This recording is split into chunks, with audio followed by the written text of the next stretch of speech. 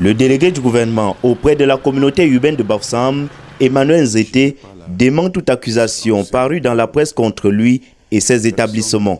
Le journal Europe Plus, dans sa parution numéro 1657 du 16 janvier 2015, a publié en sa grande une et en sa page 7 un article intitulé Communauté urbaine de Bafoussam, Zété Emmanuel en flagrant délit de fraude fiscale.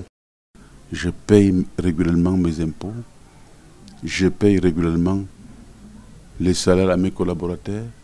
J'ai versé l'année dernière dans les caisses du Trésor public environ 1 milliard 127 millions que vous pouvez vérifier sur les relevés douaniers.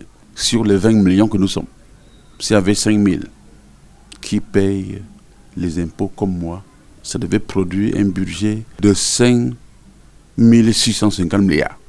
Concernant la faillite de ces établissements, l'accusé répond.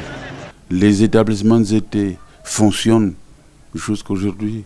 Quand on fait faillite, on ne peut pas travailler dans la gestion d'une autre entreprise.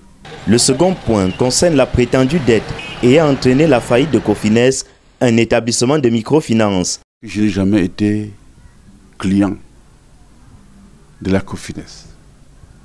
Je n'ai jamais ouvert un compte à la Cofines.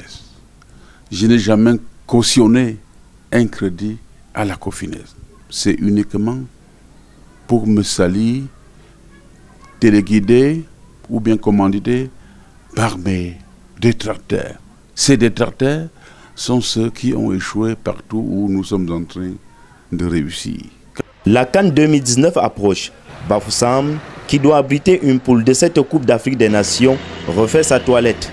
Ceci à travers la construction des espaces marchands par la communauté urbaine, l'aménagement des espaces verts, la formation des transporteurs urbains par moto, la lutte contre l'insalubrité et bien d'autres choses.